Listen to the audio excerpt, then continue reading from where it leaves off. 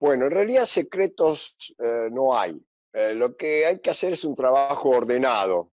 Eh, nosotros lo hacíamos mucho en el pasado. Todo se empieza por las posiciones básicas. Es importantísimo conocer las posiciones básicas, porque sobre eso arranca todo lo demás.